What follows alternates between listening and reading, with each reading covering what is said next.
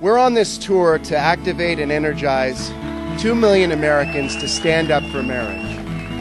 Union of a husband and wife are uniquely good and uniquely necessary to the common good. Across times, cultures, and varying religious beliefs, marriage is the foundation of the family. The family, in turn, is the basic unit of society. The late John Paul II said that the future of the world passes through the family. How true this is. I knew I'd have to stand before my children, my grandchildren, and the Lord. What did I do with marriage?